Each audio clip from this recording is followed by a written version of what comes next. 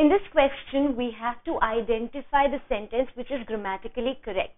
Now let us take a look at sentence A. It says, in response to the allegations and condemnation pouring in.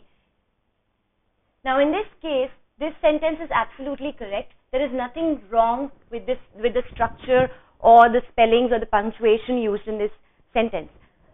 Now let's go to the next sentence. It says Nike implemented comprehensive changes in their labor policy. Clearly, it should be replaced with in its labor policy. So this means that we have identified one sentence which is grammatically incorrect. Now let's go to sentence C which says perhaps sensing the rising tide of global labor concerns.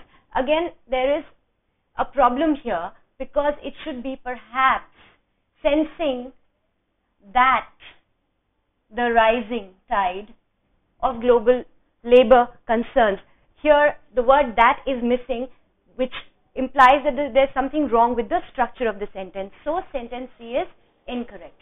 Now, let's go to sentence D, which says, from the public would become a prominent media issue. There's nothing wrong with this sentence. It's absolutely correct. The last sentence says, Nike sought to be a industry leader in employee relations.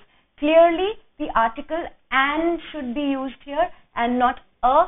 So, therefore, we know that sentence E is also incorrect. Now, according to our evaluation, sentences A and D are correct, which means option 4 is the correct answer.